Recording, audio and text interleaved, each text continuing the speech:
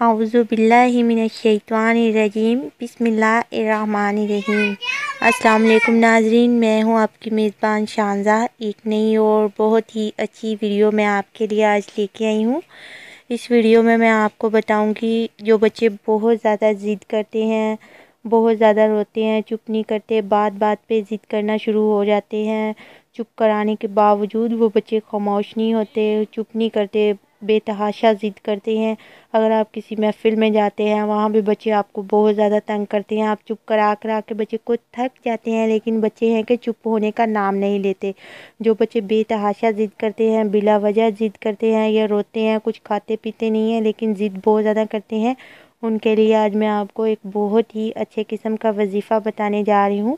یہ اس وظیفے کو آپ پڑھ کے اپنے بچے پہ دم کیجیے گا۔ انشاءاللہ انشاءاللہ تعالی، اللہ تعالیٰ کے حکم سے اور اللہ تعالیٰ کے پاک کلام کی برکت سے آپ کا بچہ رونا بالکل ہٹ جائے گا اور دوبارہ بھی آپ کا بچہ ضد نہیں کرے گا۔ اس وظیفے کا اتنا اثر ہوگا کہ دوبارہ آپ کا بچہ ضد نہیں کرے گا۔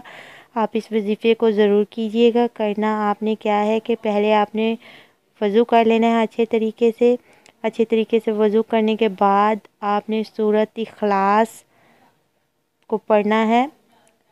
سات مرتبہ۔ سات مرتبہ صورت اخلاص کو پڑھ کے بچے کے دائیں کان میں پھونکنا ہے اور سات مرتبہ پھر صورت اخلاص کو پڑھ کے بچے کے بائیں کان میں پھونکنا ہے۔ اس طرح سے بچے کے دونوں کانوں میں صورت اخلاص کو پڑھ کے آپ نے پھونکنا ہے۔ اس وظیفے کا اتنا اثر ہوگا ان شاء اللہ تعالیٰ اللہ تعالیٰ کے حکم سے بچہ اسی وقت تھوڑی دیر میں رونا بند ہو جائے گا اور دوبارہ بھی کبھی بھی ضد نہیں کرے گا۔